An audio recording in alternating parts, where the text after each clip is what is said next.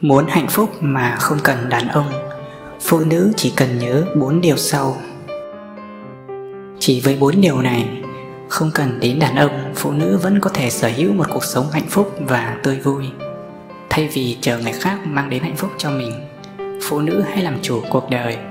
Hãy học cách tự kiến tạo một cuộc sống hạnh phúc cho riêng mình.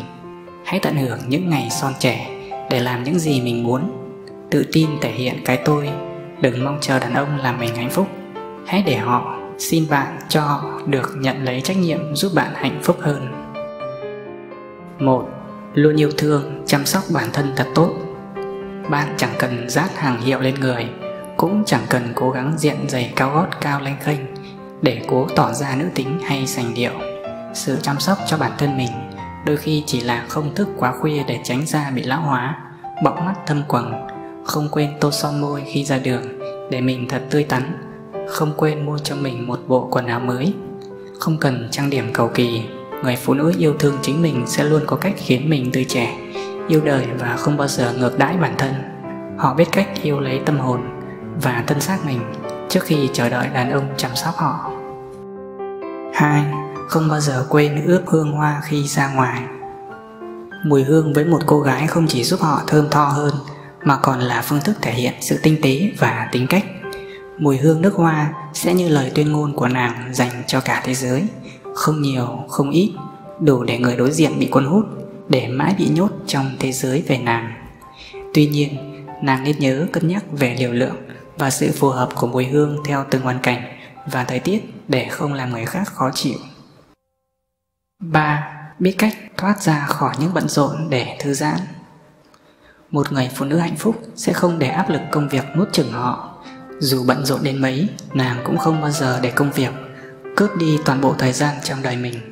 Nàng sẽ biết cách gác những bề bộn, ngổn ngang sang một bên, dành thời gian để đắp mặt nạ, làm tóc hay cà phê với lũ bạn bè. Thời gian là vô hạn. Thế nhưng thời gian của một đời người là hữu hạn. Là phụ nữ nếu muốn hạnh phúc bạn đừng sống uổng phí bất cứ một giây phút nào trong đời 4. Tự chủ tài chính dùng đam mê để làm ra tiền. Là phụ nữ, dù kiếm được ít hay nhiều tiền Bạn cũng cần có một công việc cho chính mình. Đừng cậy nhờ gia đình hay sống bám vào đàn ông. Chẳng sự bao bọc nào không có giá của nó. Chẳng của tiền nào tự rơi vào túi bạn. Hãy đủ khôn ngoan để có một công việc khiến bạn thích thú, đam mê. Đừng làm việc chỉ vì tiền. Việc được làm công việc yêu thích sẽ khiến bạn làm như chơi, luôn vui vẻ và hứng khởi mỗi ngày. Tìm niềm vui từ công việc, tiêu tiền mình kiếm ra là điều mọi phụ nữ nên làm.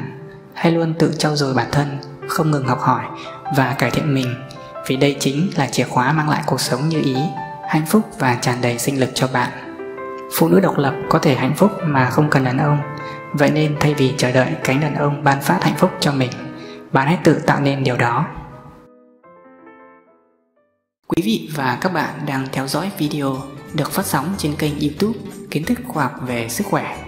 Để nhận được những thông tin và kiến thức mới nhất, quý vị và các bạn hãy nhấn vào nút đăng ký ngay phía dưới video, đồng thời chia sẻ cho gia đình, người thân và bạn bè bằng cách nhấn vào nút like, share để giúp họ có thể bảo vệ sức khỏe của chính mình. Mọi thông tin chi tiết được chúng tôi cập nhật hàng ngày tại địa chỉ kiến thức khoa học về sức khỏe.com hoặc trang fanpage kiến thức khoa học về sức khỏe.